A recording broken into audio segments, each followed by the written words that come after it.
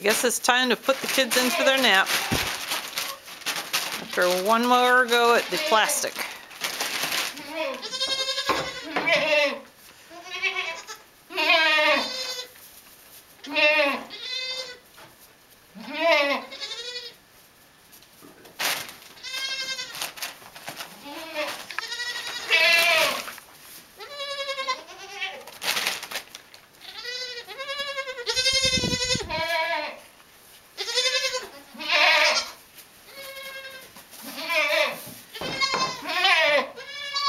Aren't they good kids?